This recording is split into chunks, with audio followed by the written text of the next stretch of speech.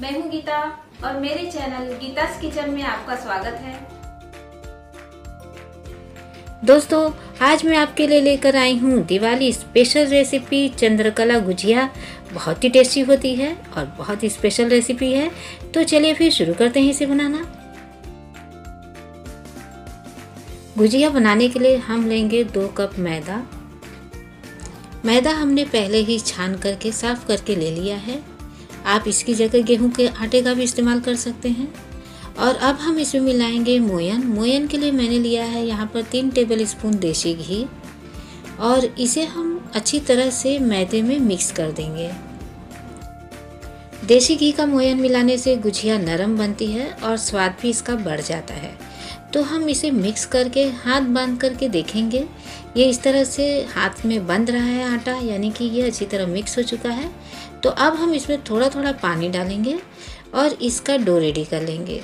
जिस तरह हम रोटी का बनाते हैं, उससे थोड़ा सा कड़क डो हमें यहाँ पर बनाना है। तो इस तरह से हमें एक फाइन डो रेडी कर लेना है। डो रेडी हो चुका है तो अब हम इसे ढक कर 10 मिनट के लिए साइड में रख देंगे और आगे का प्रिपरेशन कर लेते हैं। अब अब हम बनाएँगे गुजिया की फिलिंग्स तो फिलिंग बनाने के लिए हमने लिया है एक चम्मच देसी घी। और घी के गर्म हो जाने पर मैं इसमें डाल रही हूँ कुछ कटे हुए ड्राई फ्रूट्स और ये ऑप्शनल है, आप नहीं डालना चाहते हैं तो ना डालें। और इसे हम थोड़ा सा घी में भून लेंगे।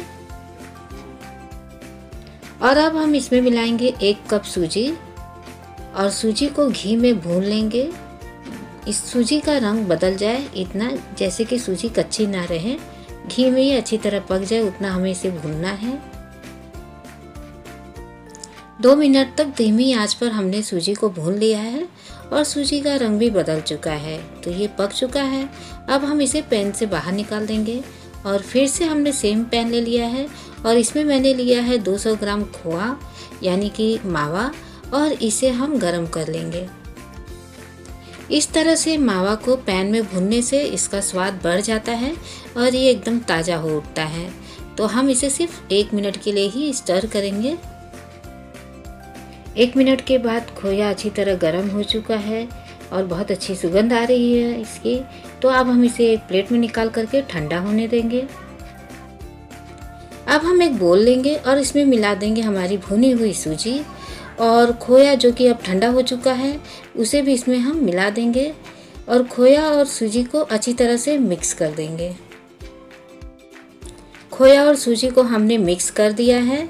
तो अब हम इसमें मिलाएँगे शुगर पाउडर, दो टेबल स्पून। इसमें मैंने इलायची भी पीस लिया है, जिससे इसका फ्लेवर बढ़ जाता है।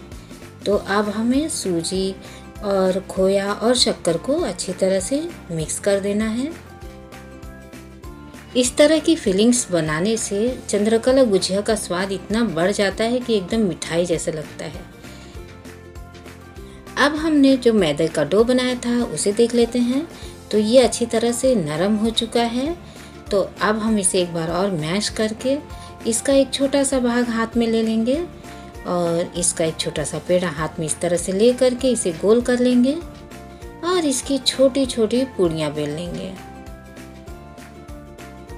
और इसे बेलते समय हमें ये ध्यान रखना है कि ये एकदम पतला पापड़ जैसा पतला इसे नहीं करना हमें। जिस तरह से हम रोटी बनाते हैं, ठीक उसी तरह से हमें इसे बनाना है। तो इस तरह से इतने छोटे या बड़े आप अपने साइज़ के हिसाब से बना सकते हैं। तो इस तरह से हम बना करके पूड़ी को साइड में रखते जाएँगे। और इसी तरह से हम कम से कम छः सात पूरियाँ बेल करके रेडी कर लेंगे। और बेलते हुए यहाँ बिल्कुल दिक्कत नहीं आ रही है क्योंकि हमने घी का मोयन डाला था तो ये बहुत ही आराम से बेल रहा है। बिल्कुल भी चिपक नहीं रहा है, कोई परेशानी नहीं हो रही। अब हम गुजिया बनाना शुरू करते हैं तो जो पूरी हमने बेली थी उसे हाथ में ले लेंगे और इसमें एक चम्मच फिलिंग डाल देंगे। इस तरह से, और इसके चारों तरफ़ पानी लगा देंगे, जिससे कि इसके ऊपर हमें दूसरी पूरी रखनी है तो वो पूरी इससे अच्छी तरह चिपक जाए और तेल में ना खुले। तो इस तरह से हमने एक पूरी के ऊपर दूसरी पूरी रख ली है और इसे हाथ से चारों तरफ़ अच्छी तरह से दबा देंगे। जिससे ये चिपक जाएगी और तेल में खुलेगी नहीं। तो इस तरह से दबाते हुए हमें चंद्रकला गुजिया बनाना है। हाथों से इसे अच्छी तरह से प्रेस करके पैक कर देंगे और एक साइड से इसे मोड़ते हुए इस तरह से इसका हम साइड से मोड़ते हुए इसे इस तरह से पैक करेंगे कि इसका एक अच्छा डिज़ाइन भी बन जाए और दिखने में ये सुंदर लगे। तो मोड़ते जाइए और थोड़ा सा दबाते जाइए। मोड़ते जाइए और थोड़ा सा दबाते जाइए। इस तरह से हम पूरा गोल इसको अच्छी तरह से मोड़ करके दबा कर बंद कर देंगे। और इसी तरह से हम सारी चंद्रकला गुजिया रेडी कर लेंगे।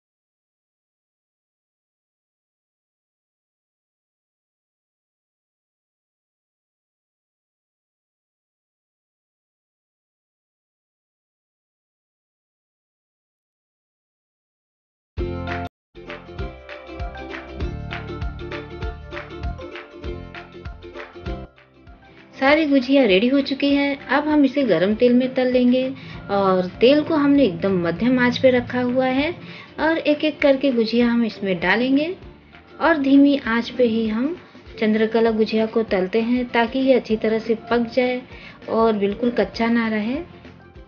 और एक तरफ़ तलने के लिए कम से कम दो मिनट का टाइम लगता है।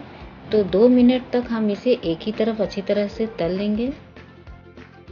तो ये एक तरफ़ हो चुका है और अब हम इसे पलट देंगे ताकि ये दूसरी तरफ़ भी अच्छी तरह से गोल्डन कलर होने तक पक जाए। और बड़े ही आराम से हमें इसे पलटना है क्योंकि ये बहुत ही सॉफ्ट है। तो इस तरह से इसे बचाते हुए हम इसे तेल में पलट करके दोनों तरफ़ गोल्डन कलर होने तक तल लेंगे। और आप देख सकते हैं, गुजिया गोल्डन कलर हो चुका है। तो अब हम इसे तेल से बाहर निकाल देंगे देखिए, ये देखने में भी काफ़ी सुंदर लग रहा है और बहुत अच्छी सुगंध आ रही है गुजिया की। तो अब हम इन सारी गुजिया को बाहर निकाल देंगे और बाकी बची हुई गुजिया को भी इसी तरह से तल लेंगे धीमी आँच पर और इसे गोल्डन कलर होने तक।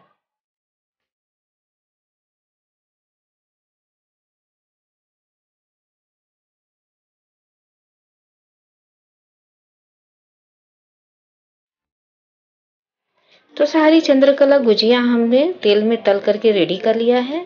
अब हम बना लेंगे चाशनी। चाशनी के लिए हम ले रहे हैं दो कप शक्कर और इसमें डालेंगे एक कप पानी। मेज़रमेंट के लिए मैं कटोरी का इस्तेमाल कर रही हूँ।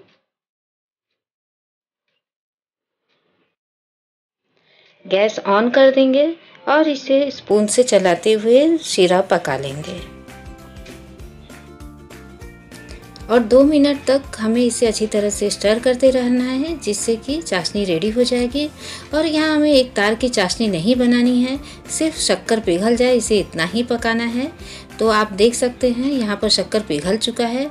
और मैं आपको हाथ से दिखाती हूँ कि इसमें बिल्कुल भी एक तार की चाशनी नहीं बनी है। तो इस तरह से हमें सिर्फ़ इस तरह से देखिए, चिपचिपा होना चाहिए बस। तो चाशनी चिपचिपी है, यानी रेडी हो चुकी है तो हम फ्लेम ऑफ़ कर देंगे और आगे का प्रोसेस कर लेंगे। चाशनी को हमें ठंडा नहीं करना है। इस चाशनी को एक बोल में निकाल लेंगे और गुजिया को डीप कर देंगे। पाँच मिनट के लिए गुजिया को हमें इसी में रखना है, जिससे सारी चाशनी ऑब्ज़र्व हो जाएगी और गुजिया एकदम रसीली हो जाएगी। तो इस तरह से मैंने इसे डीप कर दिया है और पाँच मिनट बाद हम इसे एक प्लेट में निकाल लेंगे। और इसे बहुत संभाल करके प्लेट में निकालना है, क्योंकि ये बहुत ही मुलायम भी है। तो इसी तरह से सारी गुजिया हम डीप कर देंगे और पाँच मिनट तक उसी में छोड़ देंगे और उसके बाद उसे प्लेट में निकाल लेंगे। दोस्तों, चंद्रकला गुजिया रेडी हो चुकी है और इसे सर्व करने से पहले हम इसे कटे हुए ड्राई फ्रूट से गार्निश कर देंगे। और आशा करती हूँ कि ये वीडियो आपको ज़रूर पसंद आया होगा। वीडियो पसंद आए तो फ्रेंड्स प्लीज़ इसे अपने कलीग्स और दोस्तों में ज़रूर शेयर करिए। त्योहारों का मौसम है तो वो भी ये ज़रूर बनाएँ। और अगर वीडियो आपको पसंद आया हो तो लाइक करिए शेयर करिए और चैनल को सब्सक्राइब करना ना भूलिए। Thank you and happy Diwali